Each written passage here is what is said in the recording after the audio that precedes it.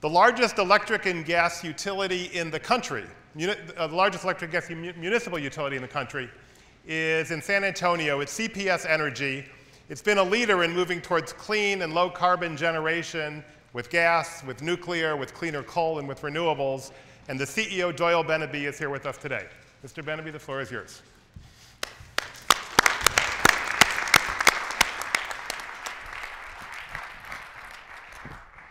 Thank you. It's uh, very good to be here, uh, Mr. Secretary. Thanks to your, to your, team for inviting us. Uh, we love to tell our story. Um, I'll start by saying uh, I represent uh, CPS Energy, um, as the uh, opening said, the largest electric and gas utility in the country for, for munis. we reside in San Antonio, Texas. I'll start by saying Texas is going to stay in the Union. we're not seceding. 50 is a nice round symmetrical number. 49 doesn't sound so good. So I just want to put that out there. Uh, second thing I'll say is my slides are fairly uh, simple, not as complex as some of the previous ones. So the good news is you won't have to do much thinking. Uh, maybe the bad news is you've got to pay more attention to what I say. Um, but, um, but how do we describe our energy future? I mean, we've given that a whole lot of thought. I've given that a lot of thought my entire career. And I think uh, we're on a path in San Antonio that I'm really excited to share with you today.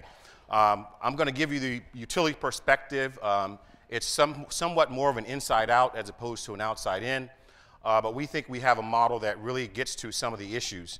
Um, some say in order to reach our energy future, uh, you've got to have a lot of things happen. You got to have a carbon tax. Uh, you got to have a nuclear renaissance. Uh, uh, natural gas prices have to reach $5 per million BTU. Uh, you've got to have the maturation of newer technologies, um, battery storage, um, electric vehicles. Maybe some say the Republicans have to take the Senate, the Democrats have to take the House. I mean, who knows? There are all these things out there uh, that really, to me, uh, result in paralysis. But I think there is a way forward, and I'd like to talk to you about that today. Um, I think there are really uh, a few big factors out there, big risks, uh, that probably uh, summarize all the things that I just talked about. I think the first big risk is uh, environmental impact.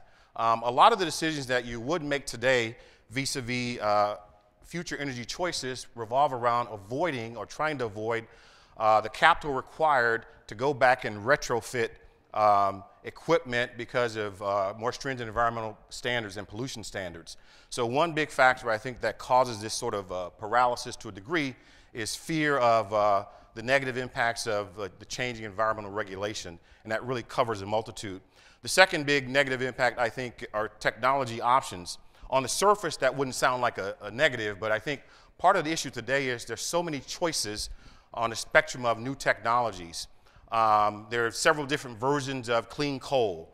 Uh, there are several versions of uh, combined cycle natural gas, several different versions of energy storage, compressed air, um, battery storage. So there are all these technologies that we really didn't have to deal with years ago. It's no longer a sort of a binary decision-making process. It's very amorphous, very nonlinear, and changing all the time. The third, I think, is uh, considering fuel types, um, an array of different fuel types. And part of the risk is do you invest in a fuel type that's on a wrong end of the uh, supply demand curve, or a fuel type that's going to be hit with uh, uh, commodity price spikes for something that happens halfway around the world. So, all these generally are some of, to me, some of the big, uh, I'd say, three factors. There are many others, but they sort of incorporate a lot of things I talked about in the beginning and they, they lead in, uh, to, to me, lead to uh, somewhat paralysis and kind of waiting for things to happen. Um, my career is uh, in the electric utility industry business. Um, I worked most of my career in investor owned. I'm at, at right now. And I can say no matter where we are, uh, we are species that we want to be third in line to try something first.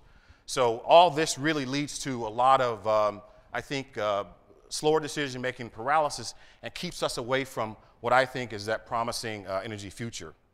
Um, one of the ways that uh, we'd like to think about it is that uh, the metaphor I like to think about is if you're making a decision today, it's tantamount to uh, you know, shooting a missile today and trying to hit a target uh, that's moving and try to, to, to, hit that target about five to seven years out. So I have a little missile up there. It's, uh, it's, it's, uh, it's no warhead on it. It's, uh, we're, we're not uh, warlike types in the electric utility business, so that's a very, very benign missile, uh, just a metaphor. Um, but really, today, uh, many are tasked with kind of pressing that button today and hoping that you're going to be right. And it's a very, very difficult decision.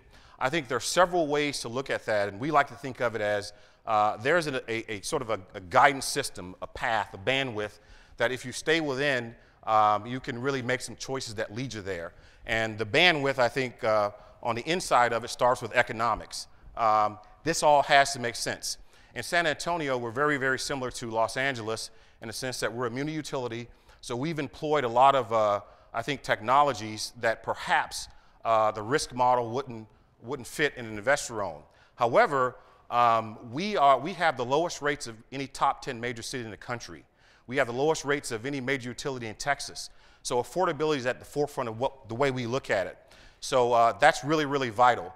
This stuff has to keep rates within the bandwidth that your community stays with you. So I think first and foremost, you have to consider the economic dynamics. I think a lot of things that I'll talk about today, the decision making on the decision making spectrum, uh, a lot of these uh, technologies afford you fixed pricing uh, for 15, 20, 25, 30 years out. So that's very, very important. The second um, is really uh, community involvement. Um, that comes natural with a municipal utility. Uh, we're owned by the city, although our board is uh, semi-independent but you have to have the community with you. And the community is engaging more. And I think um, uh, they're telling us what they want. Uh, one of the technologies we have employed is uh, our home area networks, uh, a, a, technology in a company called Consert. And basically, we're going to deploy these in about uh, a third of the homes in San Antonio. And our customer, customers will have a wireless means to uh, control their energy use and also a two way means to communicate with us.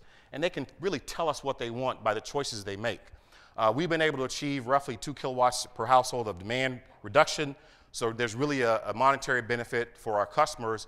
And for us, as this technology becomes more mature, we can, on the back end, retire old, uh, high heat rate, inefficient power plants. So there's a, a, monetary benefit for the utility also. But this is really uh, an opportunity for our customers to talk to us and tell us what their choices are. Secondly, um, just like most communities, a lot of our communications happen through social media today. Uh, our customers let us know uh, when we do something wrong. They let us know when they're out of service. So all these things are ways that the customers uh, can now talk to us, and they represent the community. If you look at the larger body of the community, if you look at some of our lawmakers, you look at our regulators, you look at even adjoining communities and sometimes adjoining states, that's a larger community too that you have to really listen to, our industrial customers. So our view is if you're going to stay in this kind of bandwidth, um, it's important that uh, communities be intensely involved and the utilities listen and make choices based on what the community is telling them. The third is, and the mayor talked about this, are public private partnerships. Very, very vital. In our case, unlike Los Angeles, we have chosen to not purchase um, our technologies. We want to purchase the energy. So we've utilized uh, purchase power agreements, and we let our uh, private entities take the capital risk to bring the capital to, to the table. And so um, it's very, very important to align that. What we bring to the table is a community willing to uh, buy a product, buy energy for 20 years out at a fixed price. What we bring to the table is AA plus credit rating, um, which, is, which is gold to investors. What they bring to the table is the technological risk taking, because if the technologies that don't work, and I'll talk about some of them soon, uh, we don't buy the energy. So it's a very, very, uh, I think, symbiotic relationship that's worked for us. We recently have formed seven partnerships, uh, seven partnerships with seven different companies uh, and six different technologies in the last two years. Um, everything from uh, LED lights, uh, similar to Los Angeles. We're in the process right now of converting our high pressure sodium vapor lights to LED lights. Um, we uh, expect to get about 10 megawatts of demand reduction just for 25,000 lights converted. Uh, the company, a company called Greenstar, now owned by Toshiba, uh, not only provided the lights to us, but they, relo they relocated their headquarters uh, from another location in Texas to San Antonio because that's what we said we wanted as a part of the deal. So we've been able to create this, uh, in addition to a purchase power agreement, PPA, where we buy the energy, we've created what we call EDAs, economic development uh, agreements. And so uh, we've said we'll buy your product, we'll bring our credit rating to the table, uh, we'll give you that predictable cash flow over long spectrum but you've got to invest in our community. You've got to bring jobs and you've got to invest in education. And almost every company of those seven have, has done that. We announced this year, early this year, a, a deal for 400 megawatts of solar to be built around San Antonio in Texas. And our partner, a company called OCI, um, has agreed to deliver 805 jobs at a minimum, an investment of 115 million in capital, and also a hefty investment in education. Uh, I mentioned the company Consert that employs home area networks for us. Same deal. They relocated their, their company from Raleigh, North Carolina to San Antonio. Uh, they're creating jobs, and uh, they've also invested heavily in education. So that's really been our model. But I think um, there's a, a, a, big opportunity for uh, public and private partnerships to really get this going and spur many communities, uh, many companies to really move aggressively towards this uh, uh, future energy um, or energy future. So um, that's really a big part of what we do. So the last, uh, or the second to the last uh, visual there is that's kind of the space for us. Um, we want to stay within those bounds and employ those, uh, those, those three uh, options. Now, they're not all inclusive. Um, you know, they cover other things too, but for our community, that's what's worked. And I think each community, um, whether they be a local community, whether they be state, um, I think has to consider that. So this is a way, an approach to take it somewhat uh, inside out. Um, I love what the governor said. I think there's still things that need to be done uh, on a federal level to help spur uh, some of these things, but I think there's so much to do uh, for communities until that time happens. Um, one of the uh, quotes and metaphors I like, it's been attributed to uh, either Bill Walsh or Steve Young, the old quarterback for the 49ers, who at the time was the most accurate passer in NFL history. And they asked him, how, you know, how are you so accurate? And he said, uh, well, the way to be accurate is to avoid doing the things it takes to be inaccurate. And to some degree, I think to get to our energy future, um, we don't have to necessarily get it exactly right today, but I think we've got to employ uh, those technologies um, that keep us within the bandwidth of avoiding getting it wrong. And I think getting it wrong generally is going to be uh, if you have a bias for uh, options that are, are heavy carbon intense or heavy pollution intense. Um, we made a decision in San Antonio two years ago, uh, instead of investing $500, $500 million in a uh, flue gas desulfurizer uh, to instead uh, accelerate the retirement of, of two coal units and reinvest that, uh, those funds, redirect those funds into to buying a natural gas plant. Gas is you know, roughly uh, uh, twice as clean as coal, no particulate matter, and it's really a good trade-off. And, and we also, in Texas and in San Antonio, almost sit over one of the largest shale gas reserves in the country. So those are the kinds of things uh, I think that really, really make sense. So those are the trade-offs that we've started to make uh, in this dynamic. And we didn't really wait on some of the things I talked about. We didn't wait on um, um, predictable carbon prices. We didn't wait on a carbon tax or, or some kind of a levy. I think those are options that uh, uh communities can make today. We also uh, have invested in a project called Summit. It's in West Texas. It'll be either the first or second commercially viable integrated gasification combined cycle plant. Um, so it really, uh, through a Siemens gasifier, extracts a whole lot of the pollutants out of the uh, synthetic fuel, and 90% of the CO2 is captured and, um, and redirected to um, the Permian Basin for enhanced oil recovery in Texas. So we've taken an approach that is somewhat uh, non-ideological, um, and I think that really keeps us, keeps us in a place that we get a broad spectrum of community support. My view is that I happen to, uh, to, uh, to lead a company in an industry that accounts for roughly 40% of uh, the pollution emissions that go in the air. Um, probably transportation is another 20%. And I like to say everything from the exhaust from lawnmowers to cow flatulence might be the, the last 20%. At any rate, um, if we can impact that in a way that's affordable and supported by our community, why wouldn't we do it? Irrespective of where I stand on the dimension of uh, whether or not uh, um, climate change is caused by human, human intervention or a cycle of nature. It's somewhat immaterial.